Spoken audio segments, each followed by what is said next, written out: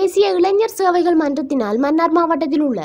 ஒவ்வொரு கிராம மட்டத்திலிருந்தும் இளைஞர் ஜோதிகளின் விளையாட்டு திறமைகளை கண்டறிந்து அவர்களை தேசிய மட்டத்திற்கு கொண்டு செல்லும் வகையில் திறமையான வீர வீராங்கனைகளை தெரிவு செய்யும் நிகழ்வு மன்னார் புனித சவேரியார் ஆண்கள் தேசிய பாடசாலை மைதானத்தில் மன்னார் மாவட்ட உதவி பணிப்பாளர் தலைமையில் சிறப்பாக இடம்பெற்றது.